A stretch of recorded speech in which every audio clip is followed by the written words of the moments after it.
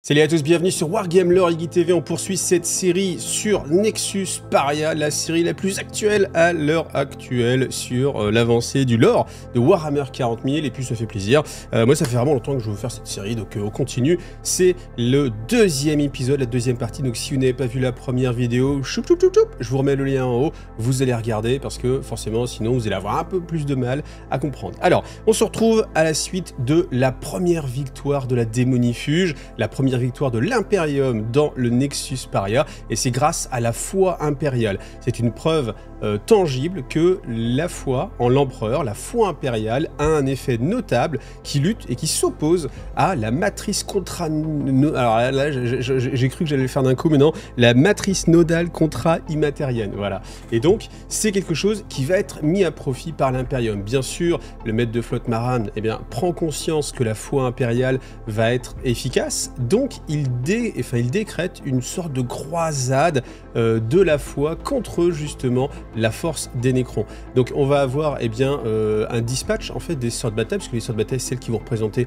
le plus l'incarnation de la foi impériale. Ah, bien sûr, on peut pas mettre euh, forcément une Stern, enfin Ephraël Stern dans chaque groupe de combat. Mais par contre, on peut saupoudrer deux sœurs de bataille qui vont, eh bien, euh, de par leur aura, redonner espoir à l'Imperium et puis donner une chance de victoire. Et puis, ce qu'on va faire aussi, c'est circuler quelques informations, quelques rumeurs, des rumeurs qui disent que certains gardes impériaux qui étaient euh, soumis au suspens, eh bien réussissent à sortir de leur torpeur grâce justement à la présence de euh, zélotes autour d'eux ou de euh, camarades très fortement croyants. Et c'est quelque chose qui va se répandre comme ça. Et puis, même si ça a été vrai qu'une seule fois par le hasard, eh bien, on peut imaginer que plus il y a de gens qui vont y croire, plus il y a de gens qui vont eh bien, redoubler leur effort de foi, plus ça va fonctionner, étant donné qu'on est certain et qu'on a la preuve que la foi impériale lutte contre euh, la matrice nodale. Alors pour en venir à la matrice nodale elle-même, eh bien ce qui est certain, c'est que l'impérium n'a pas mesurer l'ampleur de ce projet. Et même si l'Imperium a des capacités logistiques énormes, eh bien, ce que réalisent les Nécrons, ce que réalise Zarek, le roi silencieux, son projet, c'est bien en dehors de la portée de l'Imperium. Donc, son but, ce n'est pas simplement de créer une zone euh, où le warp serait absent, mais c'est vraiment d'englober la totalité de la galaxie pour faire disparaître le lien entre le warp et euh, le côté matériel des choses. Et en fait, cette partie euh, qu'on appelle l'anomalie Néphilim, eh bien c'est juste la partie émergée de l'iceberg de Nixus Paria, parce que dans dans le vide, en fait, eh bien, il y a des pylônes qui ont été positionnés par les Nécrons et qui, au fur et à mesure, cherchent à englober et faire une sorte de sphère de Dyson, mais à l'échelle galactique. Donc, je ne sais pas si ça porte un nom. Peut-être que, ça porte un nom. Vous savez, les sphères de Dyson, c'est tout simplement des constructions qui entourent une étoile. Et eh bien là, ce sera une construction, ou, en, tout cas, alors pas une, construction forcément euh, enfin, complète, hein, mais euh, en tout cas, un enchevêtrement more euh, un appareillage qui entourerait la galaxie de façon globale. Et puis, bah, il faut bien démarrer un endroit. Donc, ils ont démarré euh, du côté du Nexus euh, Paria dans la zone Néphilim. Et puis, ben, ils ont fait énormément de choses. Alors, on a quelques, quelques exemples. Donc, on, nous décrit que des planétoïdes, en fait, sont sortis de leur orbite pour être envoyés sur des lignes fractales. Alors, vous savez, les fractales, c'est que vous avez une, enfin, une forme. Et quand vous zoomez cette forme-là, plus vous zoomez, plus elle est... et ben, en fait, elle, elle a toujours des détails en fait. Il y a toujours des détails. Plus vous zoomez, plus vous avez de détails. Alors, J'avoue que j'ai du mal à, comprendre. Je pense que c'est juste pour dire fractal, c'est un mot qui fait un petit peu euh, magique, euh, bah, magique badass. Euh, d'ailleurs, je vais vous retrouver tous les noms des alliés en fait que, enfin des, noms des, des cryptech. Donc on a des technomandrites, on a des numérarques cryptofractales, des visirs fantasmatiques et des génies transspatiaux. Voilà, ça c'est les noms qu'on donne, histoire de, voilà, de, de, faire un petit peu vaporeux, un petit peu scientifique, euh, un petit peu un magico-magique euh, scientifico. Et puis, euh, puis voilà, mais en tout cas, ce qui est certain, c'est que eh bien, personne ne comprend l'ampleur du Nexus Paria, de la construction. même Draxus, Draxus, vous savez, c'est l'inquisitrice qui cherche et qui a a priori le plus d'informations sur Nexus Paria, bah, même elle ne comprend pas et n'a pas compris le, le, but en fait de, de cette chose-là. Pour eux, le but c'est simplement eh bien, de, prendre le contrôle de la galaxie et de nuire aux formes vivantes, mais ça va bien au-delà. C'est vraiment séparer le monde immatériel du monde euh, matériel, à savoir euh, justement la galaxie.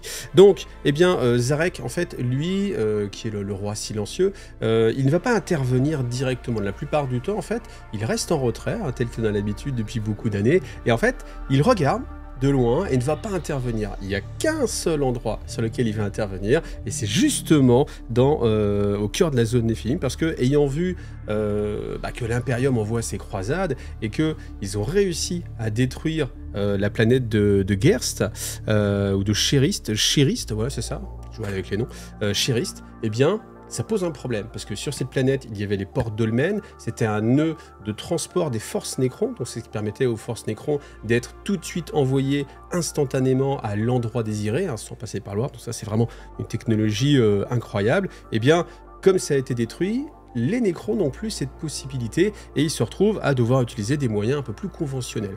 D'ailleurs, ça me fait me poser la question de comment voyagent les Nécrons. Est-ce qu'ils utilisent l'immatérium ou pas? Et, j'avoue que je, ne sais pas. Alors, quand j'avais lu les, euh, romans sur les Nécrons, euh, je crois qu'ils il, parlaient de, de voyages euh, alors comment ils appelaient ça? Je crois que c'était non inertiel, c'est-à-dire qu'en fait, il y avait un déplacement qui était quasiment instantané, mais qui était physique, qui se passait dans l'univers matériel, mais qui euh, ne créait pas d'inertie en fait. Et du coup, il n'y avait pas cette accélération, euh, donc il n'y avait pas les, les jets. Donc en fait, tout ce qui est structure mécanique n'était pas soumis aux forces euh, qui régissent, eh bien, a priori, euh, tous les, vaisseaux de l'Imperium et tous les vaisseaux des, autres factions. Euh, vous savez bien hein, que bah, même la limite de la vitesse de la lumière, qui théoriquement ne peut pas être franchie par des choses matérielles, donc par des vaisseaux spatiaux, eh bien, il y a différentes façons de violer cette règle. Typiquement, l'Imperium, c'est en passant par le warp. les Eldar, c'est en passant par la toile, donc c'est une, zone, bien sûr, qui est entre l'espace réel et le warp, voilà, avec des réseaux qui leur sont réservés. Et puis, les, euh, les Nécrons, eux, ils ont ce, mode de transport. Voilà. Donc, euh, si vous voulez en savoir plus, je vous invite vraiment à relire euh, les, les, romans Nécrons. Moi, j'avoue que j'ai pas eu le temps hein, de relire tous ces romans pour retrouver le passage où ils nous parlent de leur système de propulsion. Mais en tout cas, ce qui est certain, c'est que c'est un système de propulsion autre que celui conventionnel qui leur permet de se déplacer. Parce que je me rappelle qu'à certains moments, en fait, ils font des sortes de sauts de puce, des sortes de téléport. Enfin, c'est pas de la téléportation, mais c'est vraiment une sorte de projection grâce euh, à leur moteur euh, non inertiel. Je vais les appeler comme ça. si vous avez le nom, je, veux bien que vous mettiez en commentaire, ça sera sympa. Euh, mais à un moment donné, eh bien, ces moteurs tombent en rade et ils sont obligés d'utiliser les, moteurs conventionnels. Et là, on voit qu'ils ne sont pas plus rapides que l'Imperium. Donc, je reviens à Zarek, leur roi silencieux, et là, lui va intervenir avec sa barque de guerre, le Song of Oblivion. Voilà. Donc, on peut imaginer que c'est un vaisseau, bien entendu, euh, incroyable, hein, euh, digne d'une euh, arche Gloriana, j'y l'imagine. Et lui va intervenir justement pour essayer de défendre les constructions qui sont en train de se faire parce que au fur et à mesure que les Nécrons étendent les pylônes pour justement avoir euh, ce Nexus qui grandit, et eh bien euh, alors qu'ils sont en train de travailler bien sûr euh, l'Imperium ou d'autres races, hein, ce soit les Orques, les Eldari évidemment. D'ailleurs on peut même s'étonner pour l'instant qu'il n'y ait pas plus d'impact que ça des, des Eldari. Je me, je me demande vraiment, étant donné que les Eldari ce sont les ennemis vraiment primaires des Nécrons.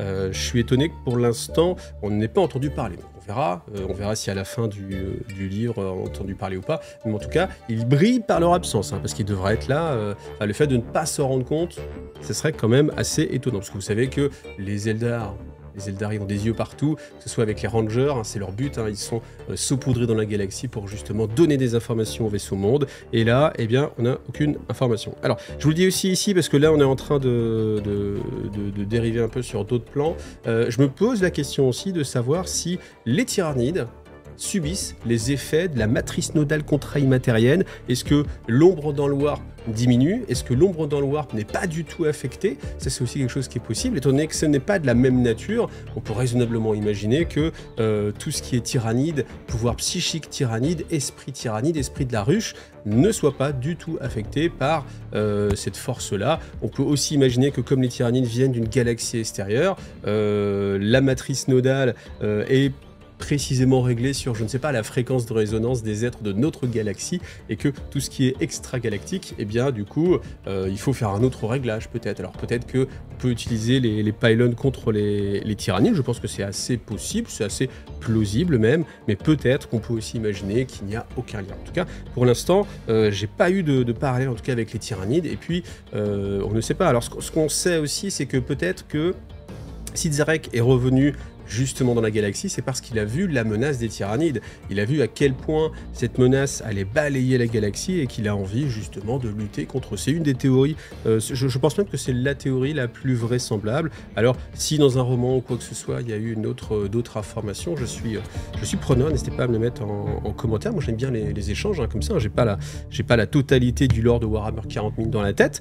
donc si vous avez des informations, bah, n'hésitez pas à les partager. Et puis comme d'habitude avec les commentaires, ça permet de faire des donc je ne sais pas, quel est votre avis? Est-ce que les tyrannides peuvent être euh, soumis à cette force-là? Euh, ce qui est assez intéressant, c'est que si c'est le cas, eh bien, on peut aussi imaginer, parce que le but en fait des nécrons, c'est de récupérer les corps inertes, mais encore viables, pour les étudier plus facilement. Et s'ils arrivent à récupérer des corps viables tyrannides, on peut imaginer une fusion entre les tyrannides et les nécrons, l'esprit Nécron, la technologie Nécron et la bioadaptabilité et la bioingénierie des tyrannides. Là, je pense qu'on aurait une menace colossale.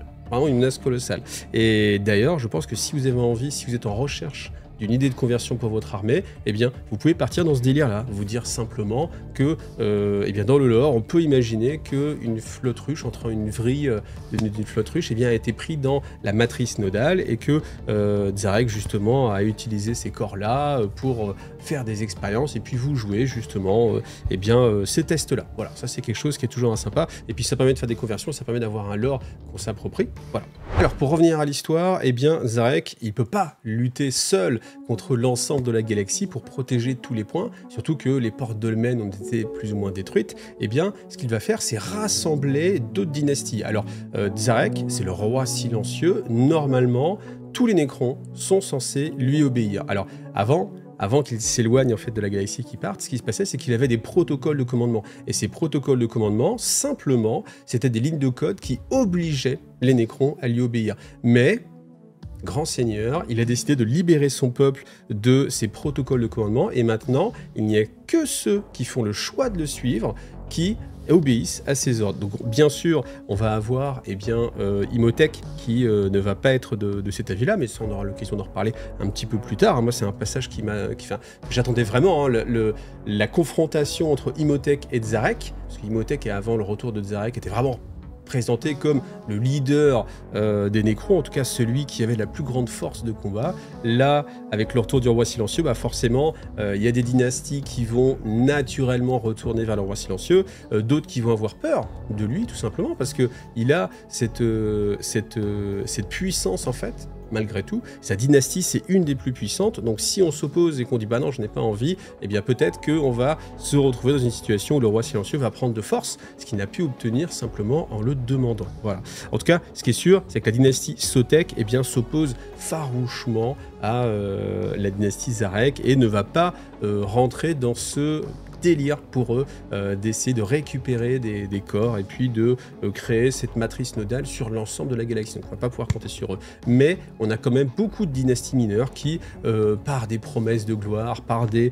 vœux sacrés ou alors par tout simplement une promesse aussi de conquête, hein. on leur dit bah, simplement cette zone-là, vous régnez sur telle partie de la galaxie.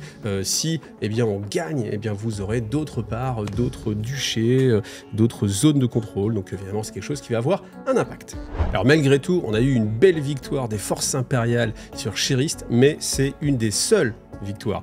Tout partout ailleurs dans euh, l'anomalie Néphilim, eh bien ce ne sont que des défaites. Euh, la plupart du temps, on va perdre des vaisseaux qui sont envoyés en renfort, donc on n'a plus de nouvelles de ces, de flottes. Euh, parfois, il y a des contre-attaques justement des Nécrons qui viennent et eh bien détruire ce qu'avait été les dernières forces de, défense et la force Khalides se retrouve extrêmement diminuée au point que tous les conseillers stratégiques de Maran lui disent il faut battre en retraite sur une zone en tout cas où on ne va pas être soumis au champ contraille matérienne et on va réussir à reprendre un peu pied, se reformer et puis attendre aussi des renforts. Donc les renforts, malgré tout, ils vont arriver sous la forme de euh, la force Orpheus qui a été envoyée de la flotte Primus. C'est euh, Robout Gilliman qui avait dépêché euh, un peu de, ses forces, un peu de la, flotte Primus. Eh bien, ils arrivent au compte-goutte, mais heureusement, quand ils arrivent, alors c'est une bonne chose parce que ça va doubler la puissance de Maran, mais c'est dire à quel point la force était déjà diminuée. Et en fait, simplement, ce qu'il décide, c'est de ne pas fuir, parce que Maran euh, n'est pas homme à fuir et euh, trouve que c'est de la, couardise quoi qu'il arrive. Donc euh, voilà, à vous, à chacun de, vous faire votre opinion. Est-ce que fuir, c'est toujours une bonne chose ou pas hein les, défenseurs des, des, Imperial Fist ont déjà leur, leur, leur idée. En tout cas, ce qui est certain, c'est que le choix de Maran, ça va être d'aller centrer sa défense sur Sherry. Pourquoi sur Cheris Parce que c'est le lieu de la victoire de l'Imperium, la première réelle victoire. Et puis, du coup, on a décidé que ce serait un monde sain.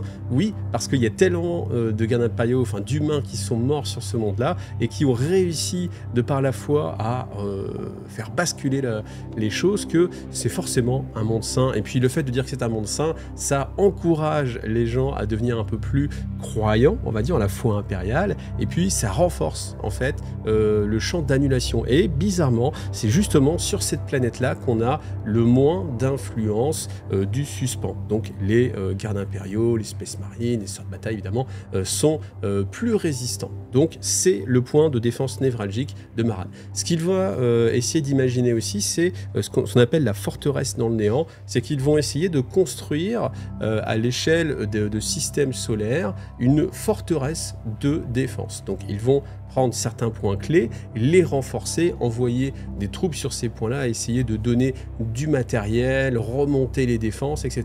Et imaginer en fait la défense de ce monde-là comme euh, dans le donjon, et puis vous avez euh, eh bien, des lignes de défense qui sont des systèmes qui sont euh, aux alentours. Et euh, chaque force va être euh, mixisé, c'est-à-dire que vous allez avoir du Space Marine, du culte Mechanicus, de l'Astra Militarum, du Chevalier Impérial bien évidemment, et puis des sœurs de bataille. Hein. C'est important qu'il y ait encore une fois des sœurs, de bataille à chaque endroit de défense pour justement minimiser l'impact euh, de la matrice nodale. Alors comme Maran sait bien que ça ne va pas être suffisant, hein, même avec la force Orpheus, même en doublant l'effectif qu'il a actuellement, eh bien ils vont tenter de percer le voile du néant pour envoyer un message astropathique. Parce que c'est vrai que les communications sont désastreuses, le seul moyen qu'ils ont de communiquer actuellement c'est par des mini-sauts warp et des messages Vox. Hein. Donc on envoie un message Vox, euh, on fait un petit saut warp d'une flotte à l'autre qui se relaient comme ça les unes les autres et au prix de, grands dangers, au prix de perte de, vaisseaux, eh bien on réussit quand même à transmettre l'information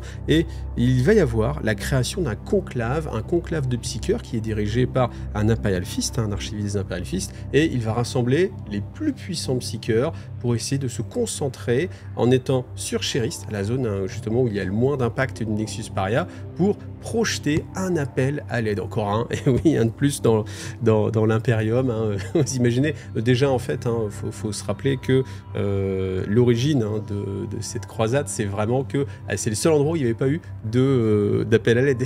là, du coup, eh ben, on va renvoyer un appel à l'aide. Donc après, est-ce qu'il sera plus entendu que les autres ou pas? Je ne sais pas. Euh, mais en tout cas, ils vont essayer de, tenter parce qu'ils voient bien que au cours actuel, euh, ils n'ont aucune chance de vaincre les Nécrons. Donc ils vont réussir, euh, de par euh, bien, bien sûr le sacrifice de nombreux psycheurs, de par la défense orbitale qui est orchestrée par les Black Templars, à gagner suffisamment de temps pour envoyer un message vers l'Imperium Sanctus. Alors est-ce que ce message sera porté avec succès? Bien sûr, on ne le sait pas encore. Et puis bon, on verra plus tard. Mais en tout cas, de nombreux psycheurs ont donné leur vie pour accomplir cette tâche indispensable. Alors dans les difficultés que rencontre l'Imperium, il y a bien entendu la force d'opposition des Nécrons, mais il y a aussi eh bien, la surutilisation de leur matériel. Euh, on voit que de nombreux vaisseaux eh bien, sont perdus, tout simplement parce qu'à force d'utiliser leur geleur pour faire des micro euh, sauts euh, warp ou leur moteur ionique pour se déplacer, etc., eh bien, les générateurs vont se retrouver surutilisés et puis vont tomber en, panne, ce qui va provoquer bah, la perte en fait, des vaisseaux, parce que dès que vous avez un vaisseau qui fait des micro warp, si euh, dans son trajet à un moment donné en fait, eh bien, il ne peut plus faire de saut warp, eh ses moteurs conventionnels ne lui permettront pas de toute façon de rejoindre dans le temps d'une existence humaine le, prochain point warp qu'il avait, qu'il avait prévu de faire. Donc forcément, ben, les bâtiments sont abandonnés et au fur et à mesure, étant donné qu'il n'y a pas d'autres renforts qui arrivent, eh bien les Nécrons, eux, vont prendre l'ascendant parce que eux, les Nécrons, il y a toujours des renforts qui semblent arriver. En fait, sur les écrans, sur les, cartes de, de Maran, de,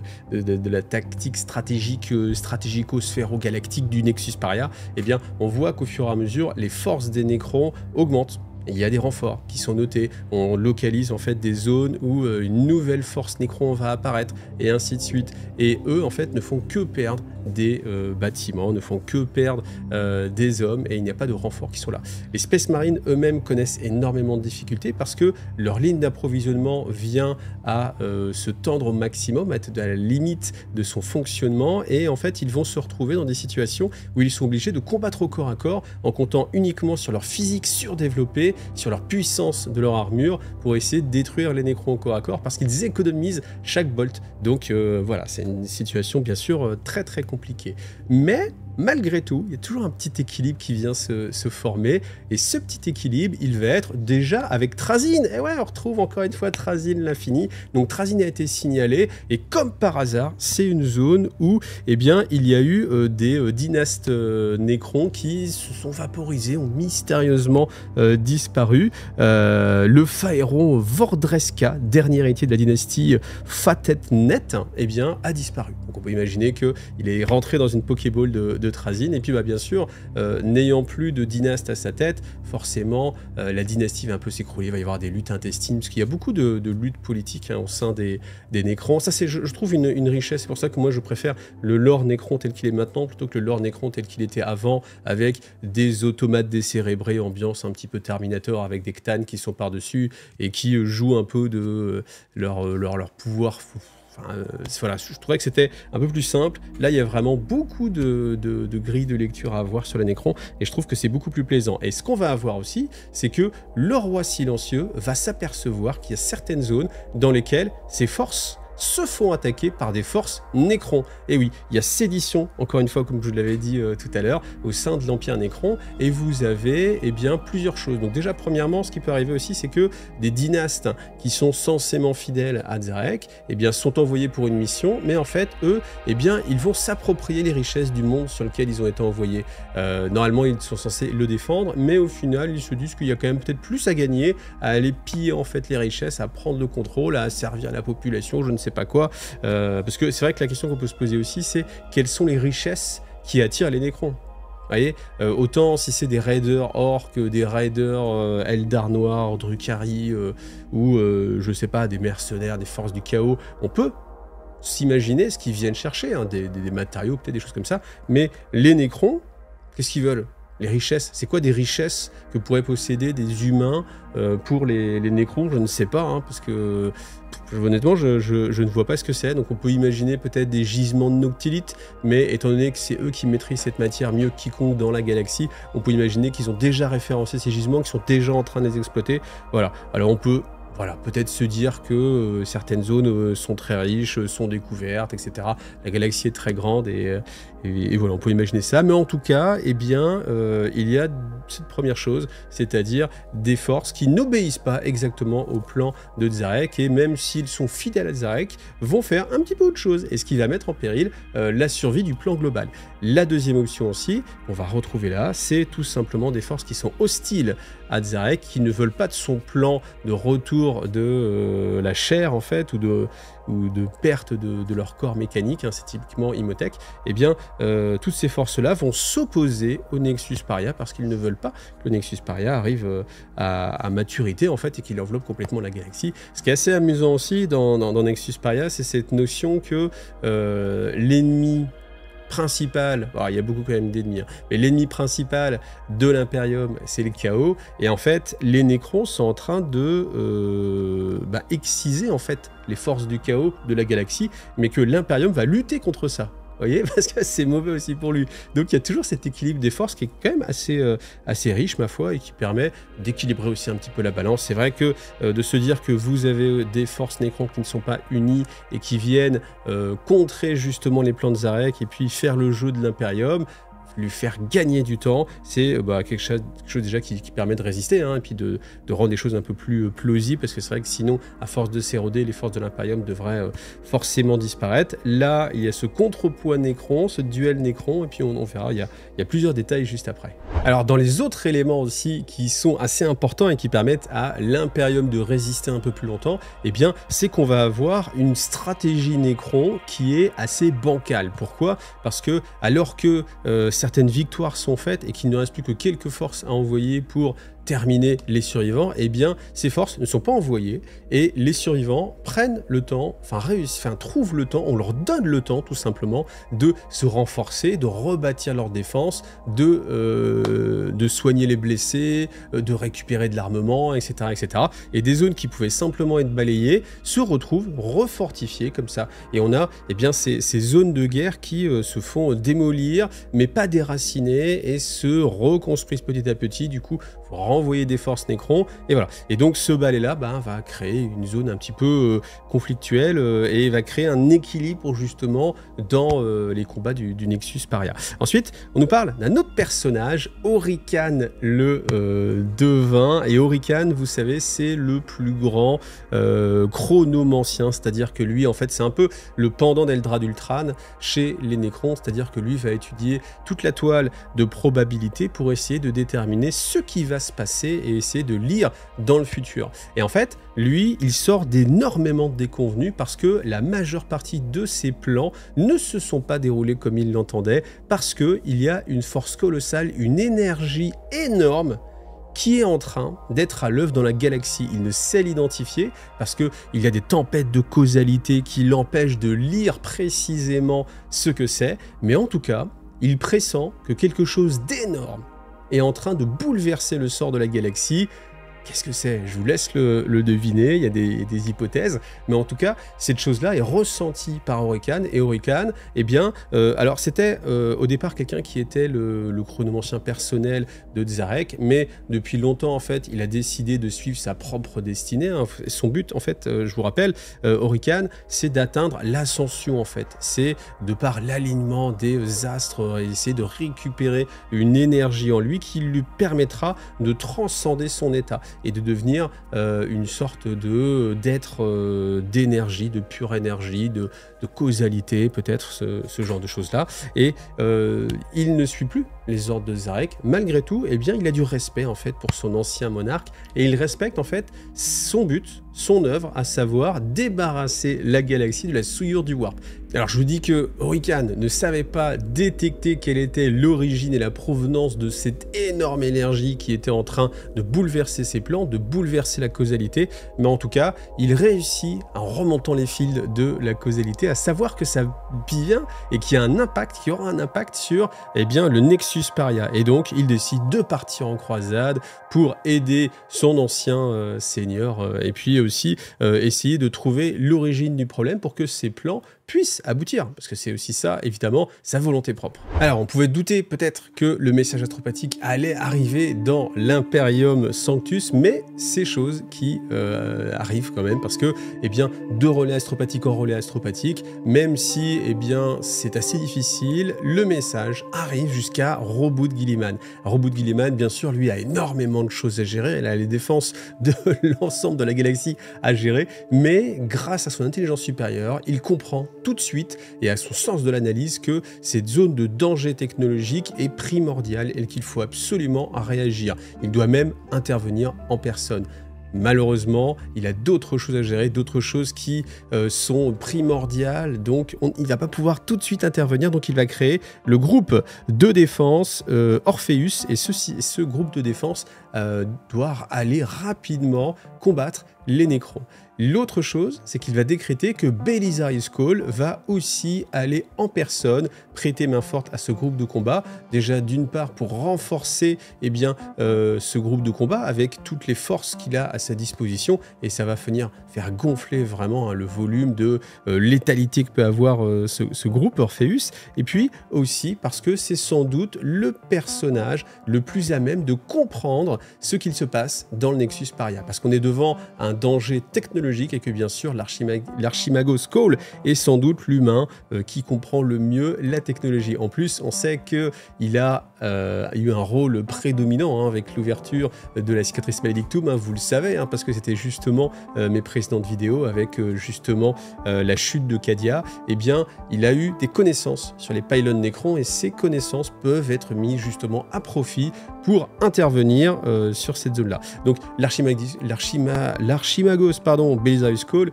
lui pour lui c'est du pain béni parce que bien évidemment, donc il veut déjà bien sûr lutter hein, contre les, forces des Nécrons, mais bien sûr ce qu'il se dit aussi c'est que il y a des nouvelles technologies, c'est euh, une zone très riche en octilite, donc forcément lui il va pouvoir récupérer ce matériau, ce matériau qui est très rare et très utile hein, maintenant qu'il a compris plus ou moins à quoi ça servait.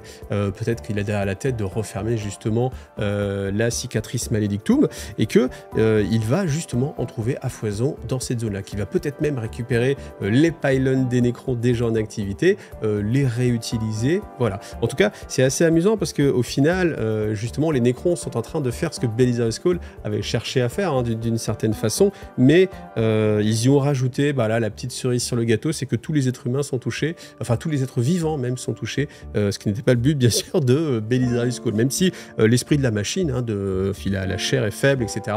Mais on peut imaginer quand même raisonnablement que ce n'était pas le but de Belisarius Cole. Donc on a cette force Orpheus et la force de Belisarius Cole qui sont envoyés très rapidement pour lutter contre justement le Nexus Paria. Et voilà, je m'arrête là pour cette vidéo comme d'habitude. Si vous voulez avoir des vidéos sans publicité en avance et en mode podcast, eh bien il vous suffit de me suivre sur Tipeee. En plus, pour ceux qui me suivent sur Tipeee vont avoir des chances de gagner beaucoup de lots parce que je mets en lot euh, toute la malle au trésor, c'est-à-dire énormément de figurines hein, neuves que j'ai à, ma disposition et que je vais tout simplement vous offrir. Et donc plus vous me soutenez sur Tipeee, plus vous avez de chances d'être tiré tout simplement au sort. Voilà. Donc euh, ne ratez pas le 18, euh, ouais, samedi 18, hein, je m'avance peut-être un petit peu sur la date, mais normalement ça sera bon samedi 18 pour cette journée de stream, toute la journée pour fêter les 7 ans de la chaîne. C'est à cette occasion-là que je ferai le tirage au sort. Et puis, même si vous n'êtes pas là ce samedi, à partir du moment où vous m'avez soutenu sur Tipeee, vous aurez quand même une chance de gagner. Voilà, je te remettais là. Et puis, euh, en tout cas, petite conclusion sur cette partie-là. Donc, on voit les forces qui se mettent en place. Donc, on a vraiment, la première partie, c'était le cadre. Hein. on décrivait un peu ce que c'était l'anomalie néphilim, le Nexus Paria, quel était le but de Zareth. Après, on a d'autres personnages hein, qui sont saupoudrés. Donc, on a eu euh, évidemment euh, Belisarius Cole, un hein, personnage assez emblématique maintenant qui est euh, au cœur de tout ce qui se passe un peu dans, dans, euh. On a un petit peu de reboot de Gilliman, mais pour l'instant il est simplement un petit peu de, loin. On avait eu le retour d'Ephraël Stern, démonifuge, le retour de l'inquisitrice Draxus, voilà, donc des personnages qui là vont avoir un rôle très important à jouer. On a bien sûr Trazid l'infini, toujours un petit peu là, et puis Orican aussi, et encore cette dualité entre Et Orican, hein, qui sont deux, deux adversaires hein, de, de très très très longue date, eh bien ça va être assez sympathique d'imaginer euh, à quel point ils vont pouvoir interférer les uns avec les autres de, leur plan, voire même, pourquoi pas, s'allier contre euh, cette énorme énergie colossale. Quelle est-elle? Eh bien écoutez, peut-être que vous le savez déjà, mais en tout cas si vous ne le savez pas, je vous laisse mettre vos pronostics. Alors évitez les spoils, hein, soyez sympa pour ceux qui n'ont pas encore lu, euh, soyez sympa, mais en tout cas il y, a vraiment des, je, pense quelque chose qui se profile et qui va être vraiment très plaisant pour l'avancée du lore de Warhammer 40k. Voilà, j'espère que ça vous a plu. Euh, comme d'habitude, n'hésitez pas à partager, à liker, à mettre des commentaires. Si vous ne savez pas quoi écrire, vous mettez un petit palmier comme d'habitude. Ça fait plaisir à l'algorithme de YouTube. Et puis, bah, moi, ça m'aide à partager la bonne parole de euh, l'anomalie Néphiline Nexus Paria. Voilà, merci à vous tous. Allez, gros bisous. Salut à tous.